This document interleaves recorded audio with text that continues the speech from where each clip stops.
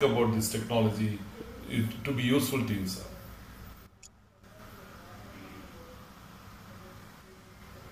First of all, good evening, everyone, and thank you to the three experts, Dominic Saab, Srinivasan ji, and Vamshi Krishna ji, who have given very wonderful presentation.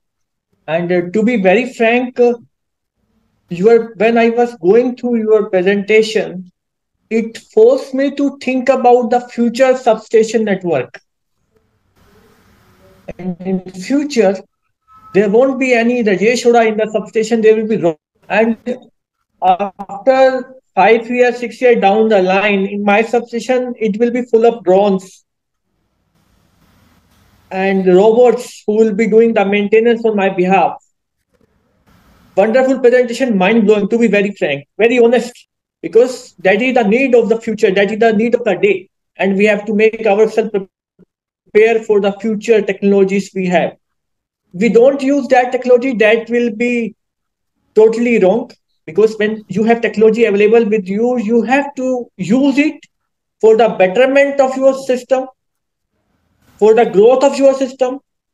Because we are living in an era where it is difficult to afford any kind of outages in the present system. We have become so much comfortable with use of energy, it is difficult to tolerate even a single minute without energy, without electricity. And to maintain uninterrupted supply, you have to keep your assets, your critical equipments in healthy conditions. And to do that thing, the methods available is VMS. Because finally you have to take care of the security and the safety. And when you have to use VMS system, I won't say that is not available. There are many cameras are available in my existing substation also, but these are not being used at the optimal level because when you have to implement VMS, that should be appropriate, adequate. Adequate means you have to install adequate number of cameras in your system based on the criticality of the equipment you have, the crucial equipment you have, outlived equipment you have, the lines you have, and that depends on the importance of that equipment in your system to maintain uninterrupted supply. Because there are three important things. One is the social responsibility. You have to maintain that supply uninterrupted. There is regulations that is called forced by your regulator to maintain your supply, maintain the availability of your lines, your substations. But to start with, to implement the technology available, we have to start with the change in my technical specification. When I float any tender for any system, for any substation, for any AIS, for GIS, for transmission line, for augmentation, we must have provisions of VMS system in my specification. When I say specification, everything comes with a cost that has direct impact on the capex of that utility. And that must be approved by concerned regulatory commission because it has direct impact on the tariff. Okay. Now coming to requirement and challenges almost the all the challenges have already been covered very well in the presentation what i feel still the first challenge is the compatibility of existing camera with the technology vms technology you are going to offer because it is not possible to discard the already installed camera in my substations I have to make all these existing system compatible with the new technology you are bringing in. And important part is we have to bring everything at the center location. In any utility, there are 20, 30, 50 substations in that particular area. And all substations must be monitored at a central location decided by utility management. And I am very impressed when you you have shown one slide where that uh, uh, hotspot is being done by your camera, that is thermoscanning. And I'm quite sure if that can be implemented, I can reduce the outages by 70%.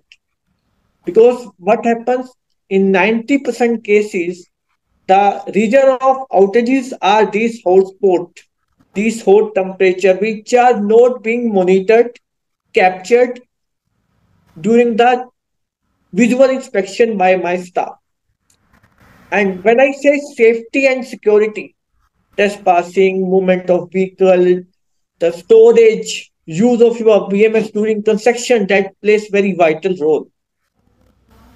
Apart from that, when my person is going for maintenance, to have a close look on the activities carrying out during the shutdown in the substation can be monitored by VMS system. And with alarm system, we can instruct the maintenance people, please carry the PP required, kindly maintain the required distance, keep yourself away from the live line. You have to maintain all the clearances required. That is going to be wonderful use of technology so far safety and security and maintenance of on-dam peoples are concerned. And I'm quite sure when we start using all this technology with proper approval, with proper amendments in the specification we have already, and with the knowledge of top management, we have to make people aware about the importance of this system for security and safety of my complete system, whether it's a AIS, whether it's a GIS, whether it's a transmission line, because we are also carrying out maintenance activity on regular basis on our transmission line. When you are at the ground level and person is on the top of that tower, you can't see what he is doing at the top. But with that technology, you will be getting the complete activity being carried out by staff, that maintenance person at the top of tower during the shutdown. At the same time, the hotspot thermovision camera use of this technology will bring my downtime to a great extent very low. And I will be able as a power system person uninterrupted supply and will be able to increase my availability of system that is must as per regulations. And it is going to bring a revolutionary change thank you everyone thanks a lot thank you very much namaskar uh, Vamshi, comment on uh, Dr. Arulazazi. No, thank you, sir, for your uh, comments and uh, feedback and insightful additions uh, to the points that we mentioned. Uh, we were not aware that you know the the specific point that you mentioned will reduce your down, downtime by seventy percent. So that means that there is definite need to focus more on that aspect of the solution because each, each solution will cater obviously to multiple uh, factors, multiple elements will be there in the solution. but which is the one that is most important to to address first? I can tell you the main causes of failure in my system. Arcing, you have mentioned in your slides, hotspot, gas leakage, oil leakage, sometimes mistakes by working staff. But by doing the proper monitoring, if you can avoid all these things that I mentioned, definitely, definitely the outages will be reduced by 70%. There is no doubt about it.